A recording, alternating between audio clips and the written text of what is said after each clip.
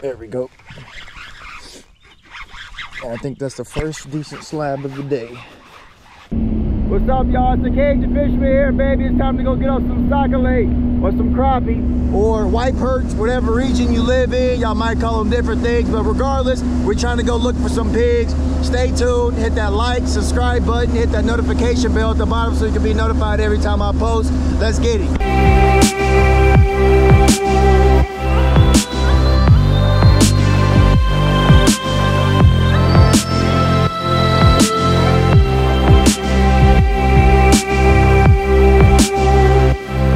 To show y'all we're fishing I'd say probably between 20 to 30 feet of water right now.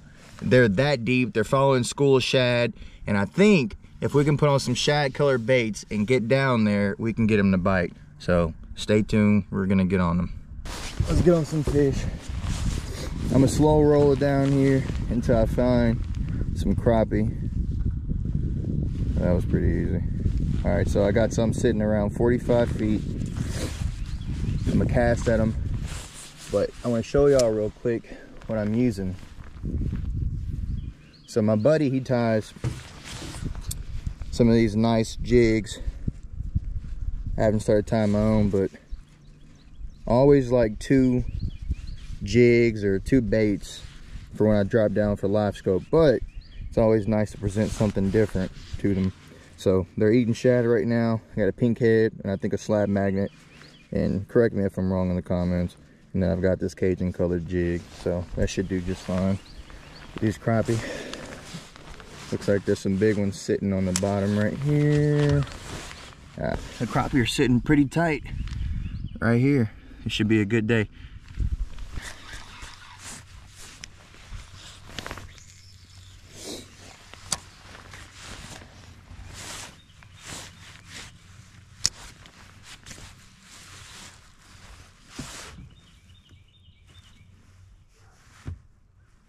a nice school of decent sized crappie down there right now.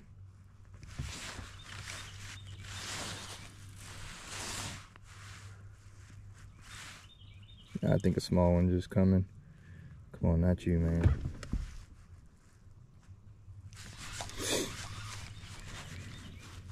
No, he's coming. There you go. Uh, I think he's small. Yeah, that was a small one. Alright, next brush bow. I'm not about to sit on this. I don't want these guys.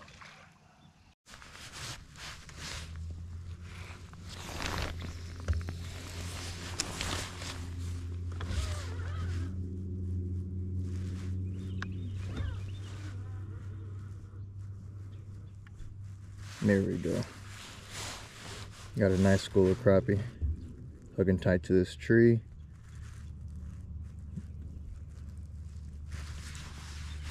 Oh, I think uh, he tried to smoke it. He missed it. Something should come smoke it in a second.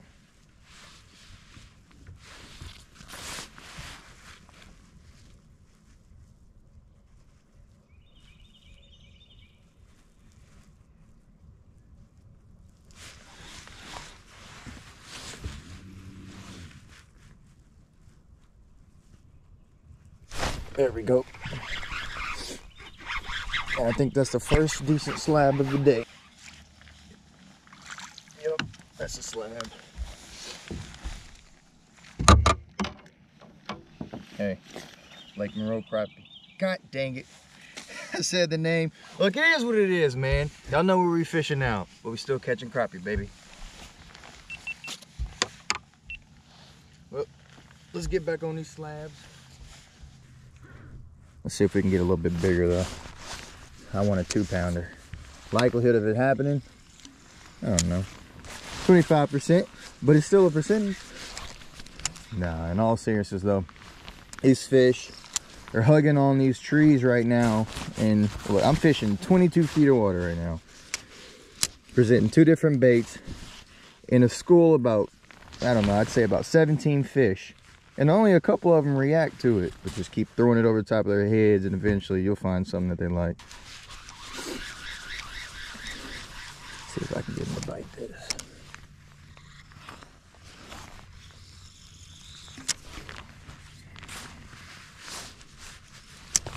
So you can see my bait dropping down right over him.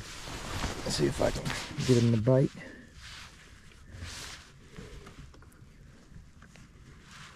Let's see, right over the top. Oh, he's coming, come on.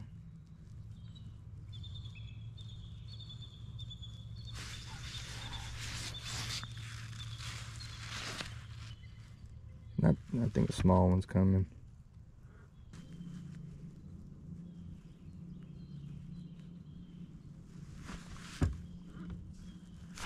There he goes.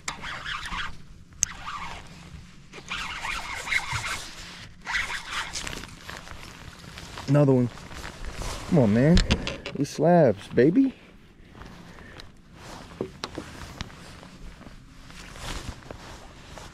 Let's go on some more.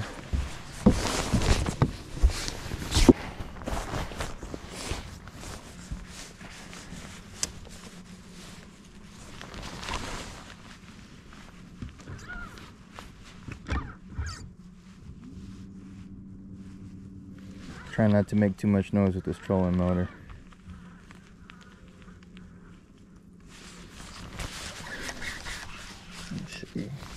Got him at 15 feet from the boat. At least it says that's 15 feet. Doesn't look like 15 feet to me. Alright, right over the top of him.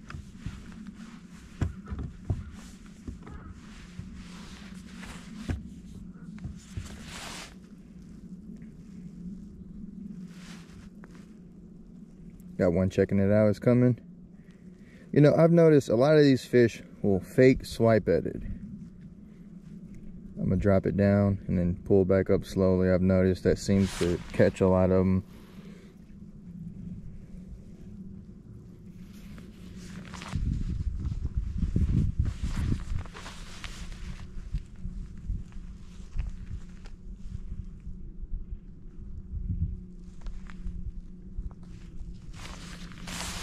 There we go.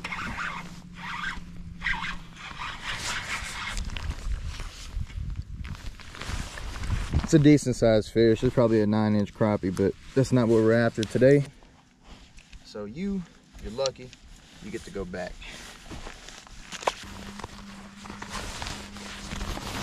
Let's see if y'all can see this.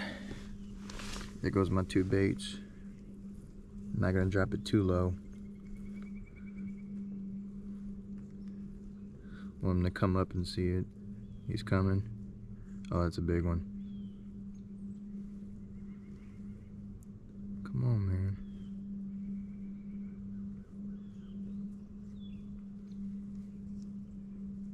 Smaller one's coming.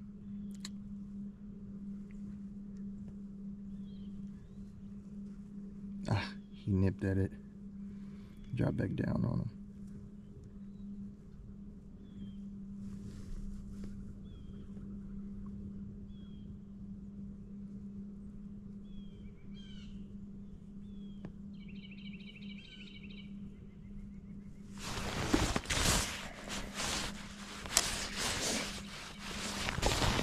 It's fine. Maybe the correct ones hadn't seen it yet. Raise it up above them. Normally I can get them to come and smack it if they see it leaving. There we go. Oh wow, look at that. Double. See, we got a slab on one of them though. Look guy, we're not after you. But you, you'll eat. Nah, he's decent.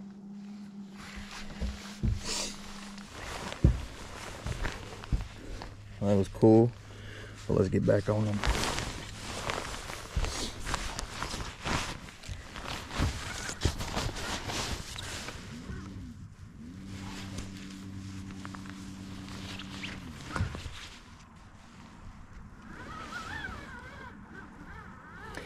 That fast, that school of crappie has left and went somewhere else.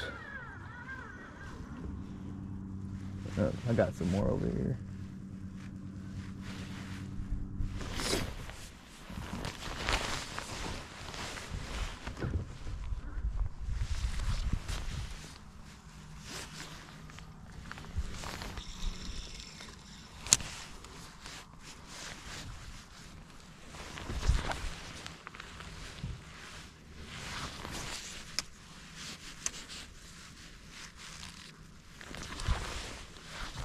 There we go. I think he's small up.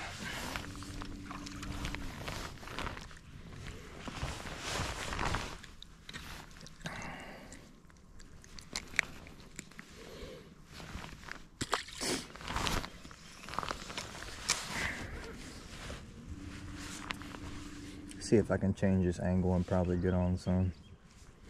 They're hiding behind the backside of the tree. I say hiding. They're living down there, chilling behind the backside of the tree. If I can get the bait back there without disturbing, I think we can get some fish off of it. Got one coming at it now.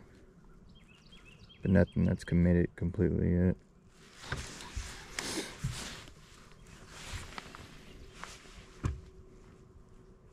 I got one coming from the bottom fast.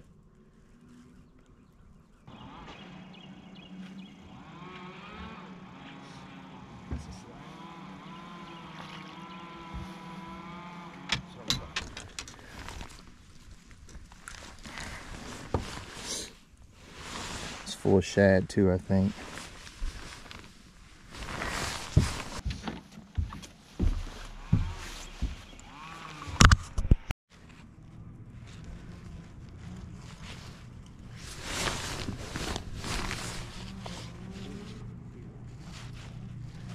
So I'm gonna try two one eighths. One with the darker colored jig head and one with the lighter color. And see if we can get some fish to bite that.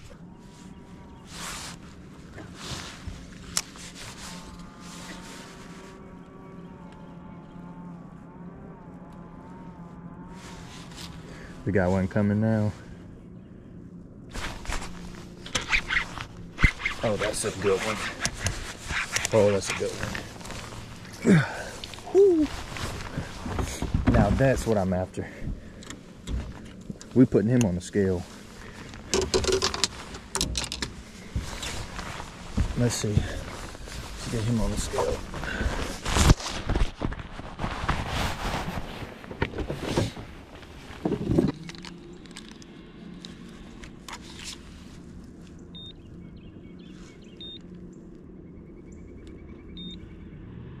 Alright, there we go. One pound, six ounces. He ain't hitting two. We're getting closer.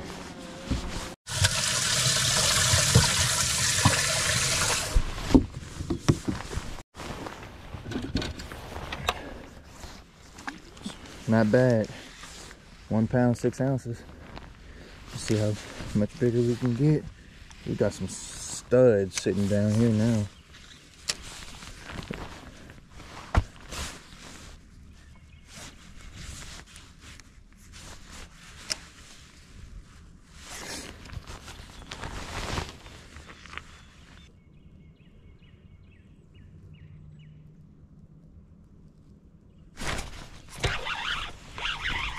That one might be decent. Yep.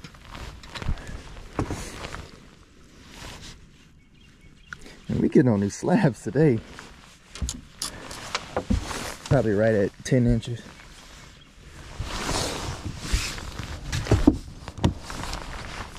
All right, so I'm about to pull out the old Tony Bowman. So that's a nickname my father has, but he loves these things. And I have these big crappie that don't want to commit. So I'm gonna try to put some of these little crappie bites on here and see if I can get them to commit. They're down there and they're not running away, swimming away. So let me see if I can get on them. I gotta try something different. And if that doesn't work, I'm gonna switch to spoons, but I'm gonna try this first. There we go. Don't wanna smash that in the boat. Sucks on carpet. So put those on the tip of the hook. And we're gonna drop it back down and see if we can get them to commit now. Got to get back up there on them.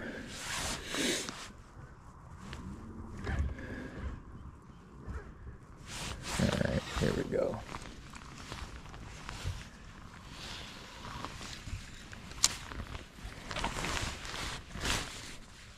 Smaller ones are gonna keep getting it.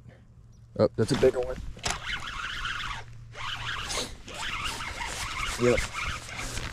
Slab. Yeah, he'll keep. He'll keep. Not too bad.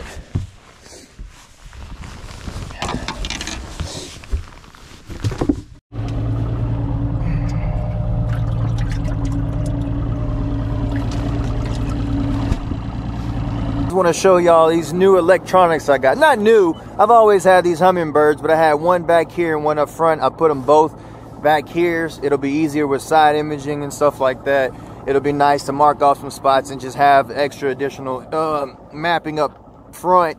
But then came over here, upgraded Bass Pro Shop deals, two Garmin's.